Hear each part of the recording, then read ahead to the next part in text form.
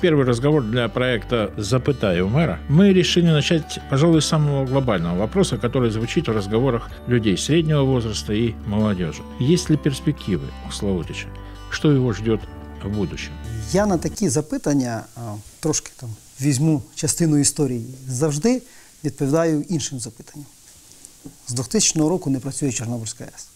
Це той період, той час, коли нам пророкували знищення міста взагалі. З 2000 року ми живемо і, дай Бог, розвиваємося. Можна сказати, що було будівництво конфайменту, арки, яка залучила е, потужних інвесторів, давала робочі місця, давала податки. Але ж арка з'явилась е, активно в 2012 році. Питання, як ми жили 12 років.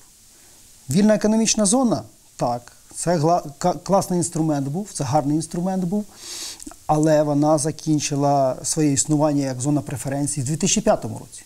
Як ми жили з 2005 по 2012? Тобто це питання, е, воно навіть не риторичне, воно е, ментальне. А що буде далі? А як буде жити Славутич далі? Процеси урбанізації вони не зупинні в усьому світі. І років через 100, можливо, ми будемо е, єдиним цілим, наприклад, з Чернігова. Наприклад. Але сьогодні у Славутича є чіткі, зрозумілі перспективи розвитку. Тому що в нас є декілька важливих складових нашого потенціалу.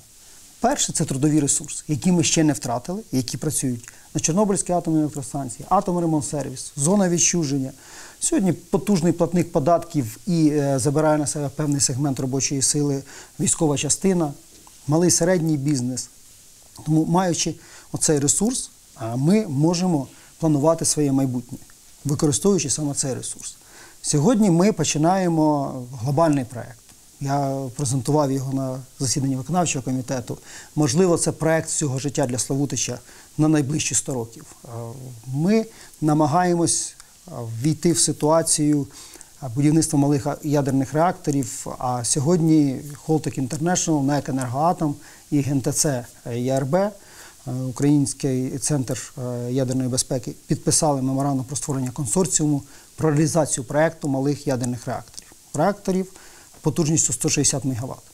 Це розробка американська, але ще в тисяч- в 2017 році е, е, професор Сіт, керівник Холтека, звернувся до президента України з пропозицією реалізації цього проекту в Європі, Азії і Африці, такий маленький регіон світу, да, спільно з Україною використовуючи потужності українських підприємств, використовуючи досвід і знання українських фахівців.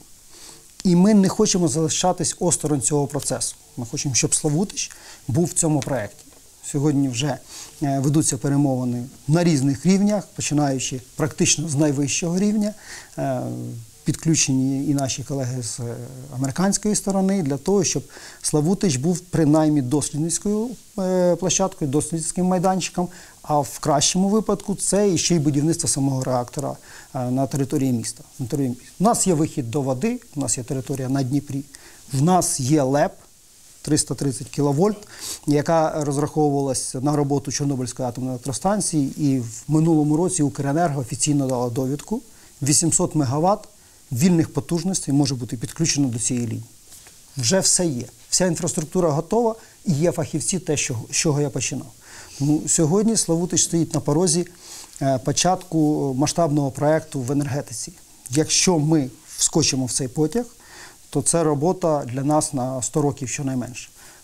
Ще й маючи такого партнера, як е, американська компанія, як Сполучені Штати Америки, це певні гарантії е, розвитку цього напрямку і розвитку цієї індустрії. От, от такі плани на майбутнє, велике майбутнє. Коли ми кажемо, що далі буде? Що буде через 20 років Славутич? Через 20 років ми повинні генерувати знову атомну енергетику. При тому, що сьогодні ми пропагандуємо відновлювані джерела енергії, сонячну енергетику, е, біо, біопаливо. Я знаю, что Славутич взял дополнительное обязательство в рамках европейской инициативы угоди мэрів щодо климату та енергії. Що це дасть Славутичу? Це цікавий виклик для нас. Ми були одні з перших підписантів угоди мерів по клімату і енергії, взявши на себе зобов'язання скоротити викиди СО2 е, до 2020 року на 20%. Давно виконали е, ці зобов'язання і сьогодні взяли нові зобов'язання до 30-го року на 30%. Тобто ще 10% треба скоротити свої викиди.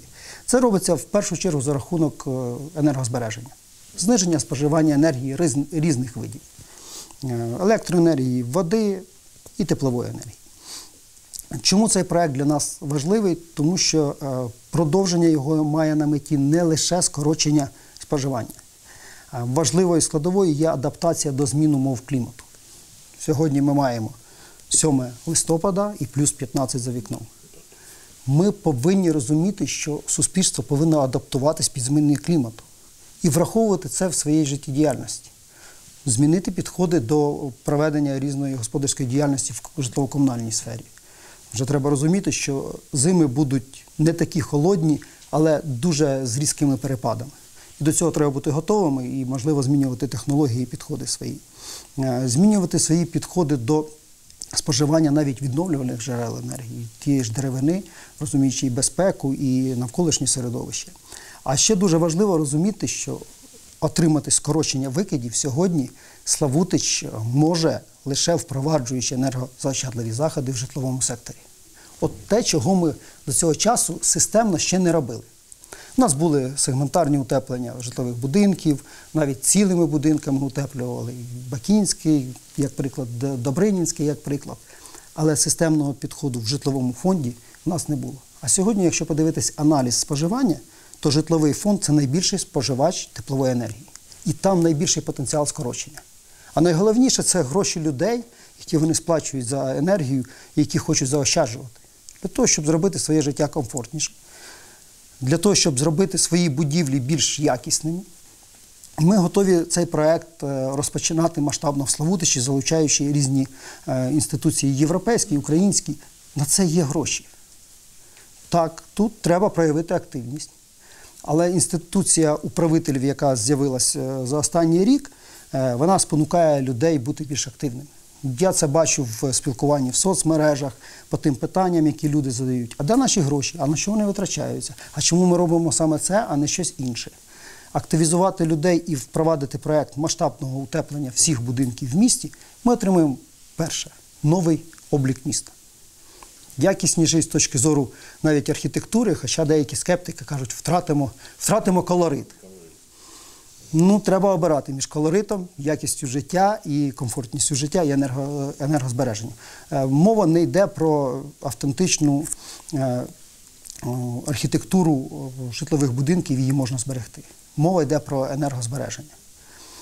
Ми можемо створити місцевий фонд і наповнювати як з місцевого бюджету, так і з інших джерел. А ці джерела періодично з'являються. Ну, беремо як найпростіший приклад енергокооператив, який зобов'язується 5% від прибутку віддавати на е, проекти міста. Чому не наповнювати фонд енергоефективності з цих грошей? Е, Європейські інституції, державний бюджет, е, Міністерство розвитку громад і територій сьогодні готово співпрацювати. І є такі приклади в Україні. От коли ми реалізували пілотний проект термосанації другої школи першого дитячого садку, е, наші колеги в місті Долина реалізували пілотний проект саме в житловому секторі. Було дуже важко. Маючи європейські грантові кошти, які навіть не треба повертати, було дуже важко організувати громаду, тому що там є складова е, участі громади безпосередньо мешканців в реалізації проєктів. По термосанації, по утепленню, по встановленню індивідуальних теплових пунктів, заміна вікон, утеплення покрівель. Але сьогодні, маючи цей результат, в них стоїть черга на співфінансування для того, щоб е, зробити свій будинок кращим. Я бачив ці будинки в європейських країнах, і вони споживають навіть по міркам України менше енергії в грошовому еквіваленті, навіть в гривнях, ніж ми. Ніж ми. При тому, що тарифи в них трошки більші, зарплати також трошки більші, соціальні гарантії в євро, а не в гривнях. Ну, Все можливо. Все можливо. І починаючи проект е, термосанації житлового фонду, ми піднімаємо такий пласт е, потенціал е, на скорочення споживання ну, дуже суттєвий. Дуже суттєвий. І я не виключаю, що з часом навіть тих потужностей, які є вже сьогодні відновлюваних, е, це енергогенерація, зеленка, як ми звикли її називати, наше тепло добудовується. Цього може вистачати для того, щоб забезпечити місто теплом навіть без е, споживання газу. Хоча на сьогоднішній день газ дешевше, ніж, ніж відновлювальні джерела, і Альтернативники е, сидять і чекають підвищення цін на газ для того, щоб почати свою роботу. Ми бачимо, сьогодні немає диму з е, екоенергогенерації. Їм невигідно з нами працювати, тому що ціна на газ не дозволяє їм отримувати принаймні ті прибутки, які вони розраховували. А на найближчу перспективу, знову ж таки, для скептиків, ну, візьмемо хоча б Гогольфест, який ми притягнули в Славутич. Це було зробити практично нереально. Жодного досвіду у організаторів Гогольфесту, а там серйозні люди, там відомі в світі люди. Щоб ми розуміли, Гогольфест входить в п'ятірку найпотужніших фестивалів Європи. Європи. Е, Опера Влада Троїцького входить в десятку кращих опер світу, коли ми кажемо за розвиток української культури. І ми залучаємо цей проект в Славутич. В маленьких містах вони жодного разу не були, не менше обласного центру. Е, Потужний рух був в Маріуполі, але там е, тільки по офіційним е, оцінкам 500 тисяч, а кажуть, вже 1700 населення. живе. Тобто 700 тисяч Маріуполь і 25 тисяч Славутич. І ми очікуємо, що на цей захід приїде трошки більше людей, ніж в місті проживає. А це е, фінансові потоки, це розвиток економіки, це розвиток індустрії креативної, це розвиток е, сфери послуг, проживання, харчування, транспорт. І це промоції для міста. І це промоції для міста. Ми бачимо, е, як це працює як мультиплікатор на прикладі фестивалю 76, який взяв паузу в цьому році. Але разом з тим, вже в наступному році ми маємо 200 е, архітекторів з усієї Європи, молодих архітекторів, які на базі 86 проводять вже заходи в Славутичі протягом двох тижнів в- травні на початку червня з різних воркшопів, е, е, різних е, семінарів, навчань для, для архітекторів, використовуючи майданчик Славутича. Тому коли скептики кажуть, так а що в Славутичі? Нічого нема в Славутичі. То ті люди, які трошки з іншого боку на це дивляться, кажуть, Славутич, як ви це робите? Це неможливо. Це неможливо. Сонячний кооператив, знову ж таки, його можна було впровадити будь-де в Україні. Площ вільних на дахах чи в інших місцях вистачає. Але цей проект прийшов до, до Славутича, і тут найважливіше, що треба розуміти, і чого не можна в жодному разу втратити, це репутація. Е, Заходи, проекти, інвестори, інвестиції йдуть туди, де є репутація.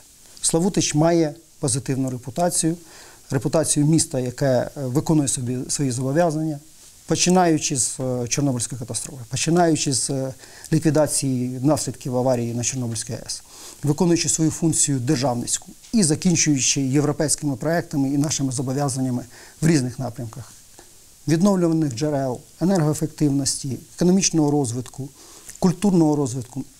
Всі зобов'язання, що ми беремо, ми виконуємо. Тому проекти на нас йдуть. Майбутнє в Славутичі точно є, а є воно тільки завдяки тому, що ми Славутич трошки особливі. Особливі як е, громада, як суспільство, і в цьому наш потенціал, в цьому наша перевага.